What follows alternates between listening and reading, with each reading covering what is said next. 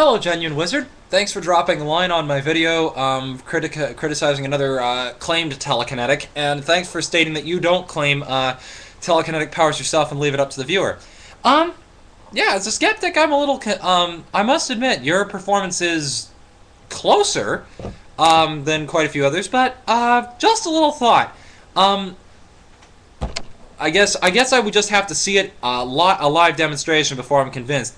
The major reason being that um, for the first bit, when your music was playing, um, when the pen looked like it was rolling around, it almost looked in some bits like stop motion animation.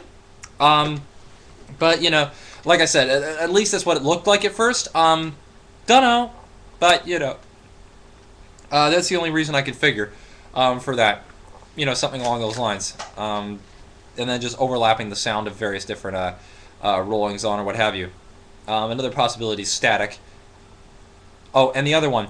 Um, we didn't see your middle finger, and uh, the thing is that um, it's also known sometimes that there is a metal bit uh, in some of these pens, uh, closer to, you know, like the tip or what have you, closer. And the thing is, I've done telekinesis tricks, which if I had my PK ring handy, I would be able to show you.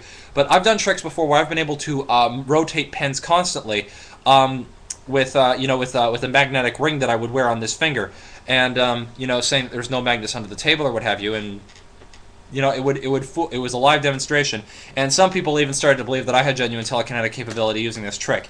Um, I literally had to explain to them that it wasn't telekinesis uh, in order to get the, a couple of the New Agers off my backs. So, uh, yeah, uh, like I said, um, I am a little concerned about this video. Um, you know, like I said, controlling for strings, magnets, and the like was very, very effective in this. But um, I'd like to see a live demonstration, or preferably um, no super. Uh, just an idea. Don't superimpose music over your clip, um, and make it shown that it is one continuous live demonstration that way.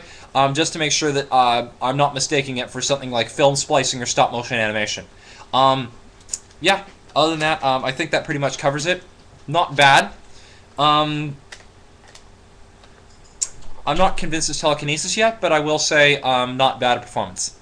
So yeah, do um, like I said, just amend those couple of bits, and um, yeah, if uh, if you can also get preferably, um,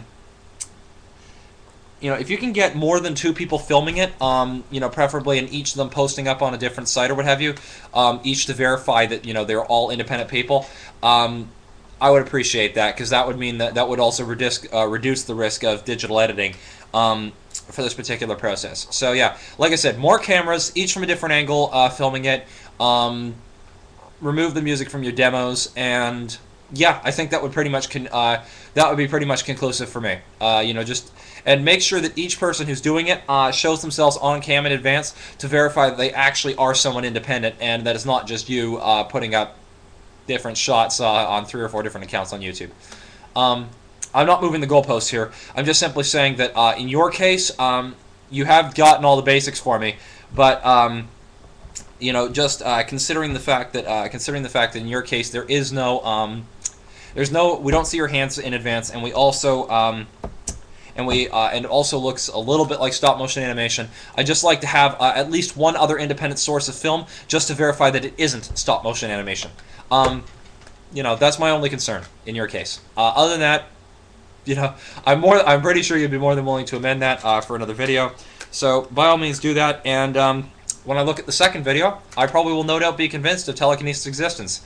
Like I said, you have me close. You have me close, but um, you know, but I suspect, like I said, stop motion or there's a couple of other ideas I'm boiling in the back of my mind as to how it could be done, but uh, they're not fully formed yet. So I'll probably have an answer for you as to other possibilities within another day or so. Oh, uh, there is one other possibility, and this is, uh, again, unlikely, but it is one which I've seen Mindfreak, uh, my other compatriot, do. Um, there are some pens which uh, actually have a little bit of liquid in them, uh, which will actually move to one side or the other. And the thing is that uh, there are ways to uh, there are ways to rig a pen and, and to you know to do something similar to that. So anyway, um, you know, weighted pens and the like. But anyway, um, that's neither here nor there. Um, yeah. Uh, like I said, I've got a couple of other. Actually, that one wasn't really the idea for this one, but uh, like I said, I've got a couple of ideas rolling in the back of my mind as to how this could be done, and I'll have uh, some ideas up for you within probably another day or two. once I've got them fully formed and experimented with them myself. Okay, see you around.